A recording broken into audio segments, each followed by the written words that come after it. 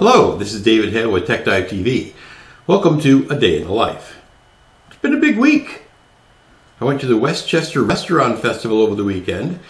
That's where restaurants uh, from around the area put out little booths and you go from booth to booth and purchase a little bite from the restaurant. It's nice. About 100,000 people showed up, so it was very crowded, but that's pretty normal for the Westchester Restaurant Festival. I also went to a concert with my girlfriend Beth. We went to see a band called Donna the Buffalo. Pretty funny story about that name. They were going to name themselves Dawn of the Buffalo, but someone heard it wrong and said, Donna the Buffalo? Who's Donna? Are you Donna? No, there is no Donna. But they liked the name, so they kept it Donna the Buffalo. I've also been asked to become a drummer in an old time rock band, so I'm going to try that. Don't know if it'll work out, but you know, I'm going to make the attempt.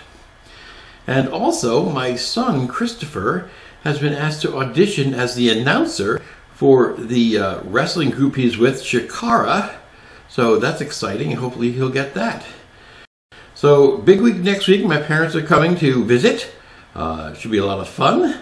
So, next week's uh, day in the life will be in preparation of that event. So, hope you have a good day. This is David Huff from Tech Dive TV. Bye bye.